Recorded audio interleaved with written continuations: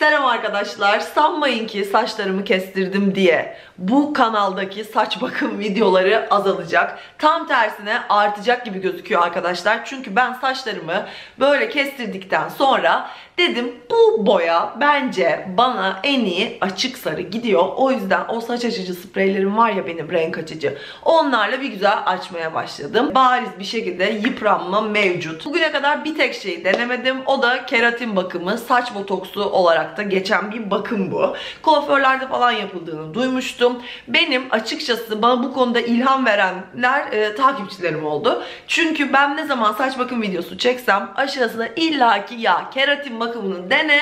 Bunların hiçbirine gerek kalmayacak gözdecim yazan biri mutlaka çıkıyordu. Onarmak üzerine kurulmuş bir bakım. Keratin saçın zaten içeriğinde olan bir madde ama tüm bu işlemlerle, boyamalarla, hırpalamalarla falan onun oranı azalıyor saçımızdaki. Özellikle sarıya döndükten sonra bu kadar açmalardan geçtikten sonra saçımızdaki keratin oranı ciddi anlamda azalıyormuş ve onu geri vermenin en sağlam yollarından biri de bu keratin bakımıymış. Bugün kullanacağım ürünlerin markası Natura Keratin. Zaten ben hepsini tek tek göstereceğim. Ve bu konuda da bu ürünlerle ilgili de videonun sonunda size bir sürprizim olacak. Öncelikle şöyle başlıyoruz. Natura Keratin'in bir arındırıcı şampuanı var. Bu uygulamamızın ilk adımı bu arındırıcı şampuanla saçını iki kere yıkamak oluyor. Ben saçlarımı yıkadım da geldim. Kameramı, ışıklarımı kurarken kendi kendine birazcık kurudu. Uygulama için istenen kurulukta tam olarak bu. Ee, ne ıslak ne kuru. Yani bu aşamaya aslında saç kurutma makinesiyle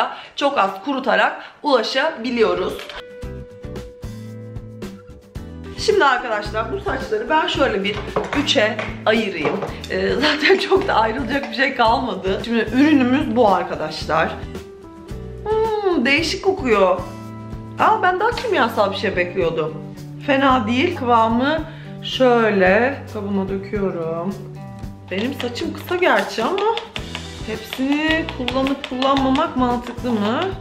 Bence mantıklı olmuşken tam olsun.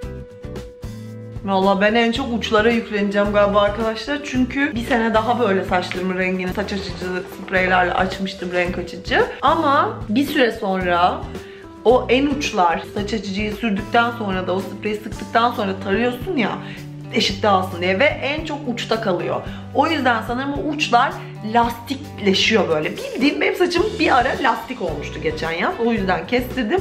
O lastik kıvamı işte saçınızdaki keratin artık en aza indiği, keratinsizlik alarmı verdiği dönemin işaretiymiş arkadaşlar. Ve bir daha o dönemi yaşamak istemiyorum. Çünkü saç oraya geldi mi onun dönüşü yok. Bu arada bu keratin bakımı şeyde de çok işe yarıyor diyorlar. Bakalım yapacağız, göreceğiz. Ee, bu zor taranan saçlarda ki benim saçlarım e, uzunken yani 1-2 hafta önce uzunken taraması o kadar saat alıyordu ki e, kestirme sebeplerimden biri oldu. Artık böyle Orkun falan hadi gözde hadi gözde yıkanma gözde yıkanırsan evden çıkamıyoruz gözde Çö- çözmesi düğümleri çözmesi taraması bir saat kurutması bir saat falan. Ee, zaten kısa saçlarımı özlemiştim. O yüzden geri döndüm. Ama ona rağmen arkadaşlar kestirmiş olmama rağmen kestirmiş olmama rağmen hala zor taranıyor. Çünkü bu bir yapı meselesi gerçekten. Saçın yapısı hem de işte işlemlerden geçtiği için herhalde böyle oldu. Bilmiyorum. Şöyle tarayarak iyice yedirdim. Saçlarımı şöyle topluyorum. Tepeden toplayın diyor ama ben tepelere çıkamayacak kadar az saçlıyım şu anda. Ve üzerinde bir bone geçirin diyor. Benim şu anda bonem bu olacak arkadaşlar. Stretch filmim olacak. Şöyle yaptım bunu. Birazcık ısı vereceğim. Ardından da bir 30-40 dakika bekleteceğim. Bekledim. O sırada ütümü yaptım. Ve şimdi arkadaşlar yıkıyorum. Şampuansız yıkıyorsun. ılık suyla yıkıyorsun. Çünkü sıcak iyi gelmiyormuş. Saçımı yıkadım. Bir güzel akıttım arkadaşlar. Şöyle bir kolay saç tarama spreyi var. Tamamen parabensiz ve doğal ürünlerden. Son bir bakım darbesi vuruyorum. Ve saçımı tarayıp fön çekiyorum. Bu arada aa, suratıma geldi. Yıkadıktan sonraki hissi size söylüyorum. Hani böyle saç maskeleri yaparız ya duşta.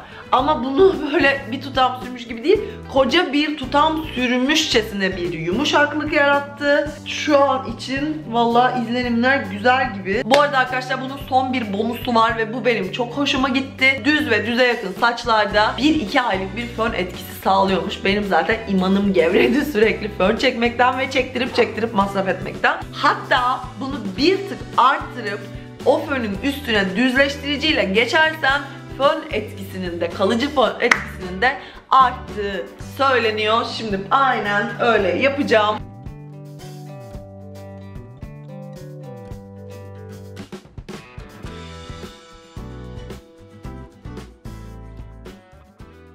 Arkadaşlar şu an fönüm bitti ve ben hakikaten harbiden şoktayım. Bu saça bir şey oldu arkadaşlar. Bu saç bir bir şey oldu bir büyüdü buraları bak bana şu kadarcık güveniyorsanız size çok yürekten burada denedim ve sonucundan ya emin değildim bilmiyorum çok kişi memnundu ama çok emin değildim ama şu an ben şu şu doluluğu ve şu yumuşaklığı uzun süredir görmemiştim. Bilmiyorum oradan ne kadar belli oluyor ama bir parlaklık da geldi. E, uygulamada denildiği gibi üzerinden düzleştiricimle de geçeceğim ve bu fönü kalıcı hale getireceğim. Eğer siz istemiyorsanız fönden sonra bırakın düzleştirmeyle falan geçmeyin üstünden. Eğer siz de evinizde keratin bakımı, saç botoksu yapmak istiyorsanız aslında bu bunu yapıp yapmayacağımdan emin değildim. Şu parlaklığı, şu sonucu görürsem yapacaktım ve şu an gördüğüm için evde keratin bakımı, saç botoksu uygulamak istiyorsanız Natura Keratin'in zaten aşağı linkini bırakacağım.